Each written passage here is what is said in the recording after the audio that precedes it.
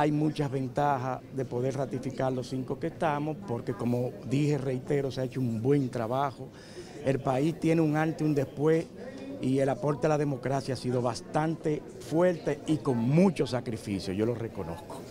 Entiendo que lo más importante de este pleno es que hemos trabajado en equipo, el presidente ha hecho su trabajo de mantener la unidad y nada, pero todo, todo requiere cambio, todo necesita cambio y todavía falta tiempo para decidir cuál debe ser la salida del próximo pleno de la Junta Central Electoral.